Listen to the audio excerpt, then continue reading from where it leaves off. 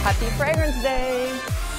It's important for women to have their own fragrance, just to have their individuality met, to feel ultra feminine just for themselves and show the world how feminine they are. It is a pleasure to be here. I am Linda Levy. I'm the president of the Fragrance Foundation. The mission of the Fragrance Foundation is to inspire the world to discover the artistry and passion of fragrance. This year, more than ever, bigger than ever. We are really celebrating brands and we want people to discover new fragrances and really enjoy them and not feel pressured to buy them as well.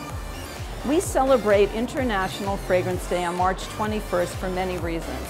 One is, coincidentally, it's Women's History Month. And women supporting women, women taking action, is a very big part of our DNA. It's also the beginning of springtime, a time when a fabulous new introduction of many, many fragrances come out.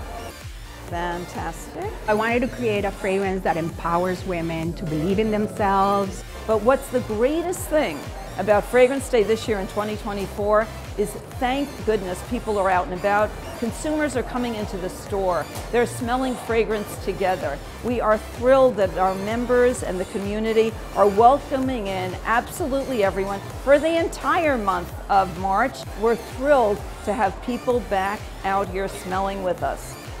Happy Fragrance Day and happy Women's History Month.